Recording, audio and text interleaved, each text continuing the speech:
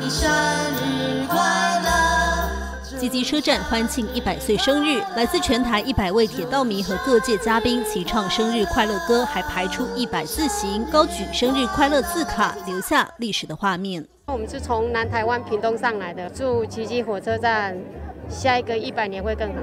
吉吉火车站生日快乐！二零二二年恰逢虎年，有石虎娘家美称的南投集集镇推出一系列保育石虎主题活动。猫虎同科浪浪橘猫龙交散，正式就任猫站长这一天，高雄桥头糖厂站猫站长蜜柑特地北上，而为他命名的小朋友全家都来祝贺。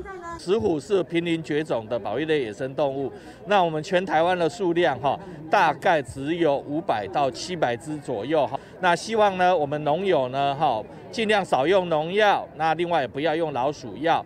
更重要的是呢，大家在容易路杀的路段呢，尽量可以把它速度减低。这一百年来呢，它担负了非常重要的角色，比如说在运输也好，观光也好。那我在想，未来的一百年，它呃，吉吉火车站应该还是会呃继续呢担任它的任务。这场活动很有另外一个意义，呼吁大家，我们以这个领养来代替来代替购买。台湾铁路局也特别发行限量纪念套票，许多铁道迷从前一天就来排队抢头香。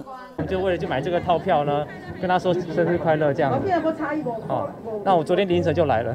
为了庆祝这个活动哈，我们铁路局也另外也发售一千套的那个套票，结合地方及地方文化的色彩，还有观光，还有产业、轨道运输啊、绿色隧道一起配合啊，我相信哦，这次活动会办得非常有心。精彩。接下来呢，我们还有我们持续在铁道仓库哈进行的这个铁道百年的展览，好，会到我们的这个三月底啊。另外呢，我们一月十五好到二月二十八呢，这是我们集集啊的这个今年的这个花灯哈，我们今年的灯会。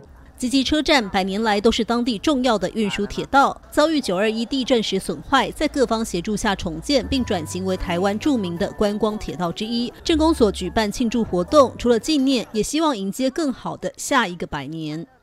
新唐人亚太电视肖正中、林佩云，台湾南投采访报道。